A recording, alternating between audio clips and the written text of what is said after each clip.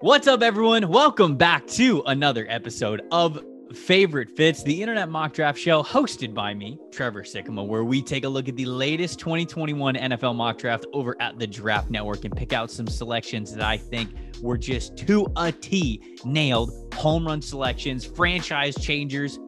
Give these guys the keys to the team Okay, maybe not. Well, I would love to see Brentley Weissman get the keys to one of these franchises because shout out to him. He was the one doing the mock draft for this week. And with it, we got to talk about number 11, where he had the New York Giants selecting DeVonta Smith. I almost said stealing DeVonta Smith in this draft because I really do love this connection. Not only do I think that DeVonta Smith is obviously a fantastic football player, this was evident by his record breaking season this year at Alabama, but the Giants could have a really big wide receiver need. Now they have Sterling Shepard, they have Golden Tate, they have Evan Engram, they have Darius Slayton, they have some of those guys on the roster, but Golden Tate could be on his way out. They could move on from him if they want. He's on the other side of 30, and they really need a good dynamic playmaker, anyways. And so I feel like they just need new juice, new life within this Giants passing attack. And so even if it's the same guys around him moving forward, plugging DeVonta Smith into this New York Giants offense, I think is a big boost right away. We're not going too far for the analysis on this next pick. Only one spot to be exact, where Brentley has the Atlanta Falcons. Yes, the Atlanta Falcons at number 12 overall because of a trade back. They moved from 4 to 12 as the San Francisco 49ers moved up to go get quarterback Trey Lance up in the top five. And in doing so, it was great for Atlanta because Atlanta got obviously number 12 right here number 44, which is the second round pick from the Falcons this year, and a first round pick next year, while also grabbing Miami pass rusher Gregory Rousseau here at number 12. Now, Rousseau, a lot of people think he's a one year wonder, but you got to emphasize the word wonder because it was a 15 and a half sack season and he opted out this year, eh, but man, him next to Jaelan Phillips and Quincy Roche, I mean, that Miami defensive line would have been incredible.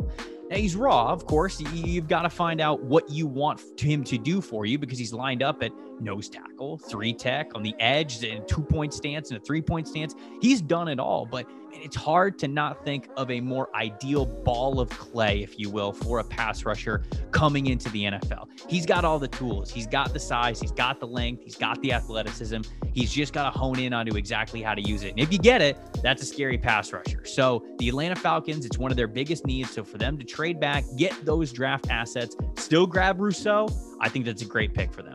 Last but not least, we got to talk about the Arizona Cardinals because I feel like we talk about them plenty on these two shows, this mock the mock and favorite fits, but we're often talking about them on mock the mock because it's so hard to game plan for them. They'd love to get a guy like Kyle Pitts. They'd love to get a big time receiver in there as well. They'd love to add a star cornerback, but it just doesn't often line up for them. A lot of those guys are often off the board before the Cardinals come on the clock. So some of these picks are a little bit forced, but not this one. This one is perfect. And of course, if it ends up like this, uh, Cardinals fans will be praising Brentley for predicting it. And that is them getting Virginia Tech cornerback Caleb Farley. This is a huge need for the Arizona Cardinals. They need another corner. They need another potential shutdown guy. Patrick Peterson, for as incredible as he has been, he ain't getting any younger. They're going to need a guy to come in and play opposite of him while he's there and then take over as the CB1 one day whenever they end up moving on. And so Caleb Farley, it's a great investment for them. It's good value with the current pick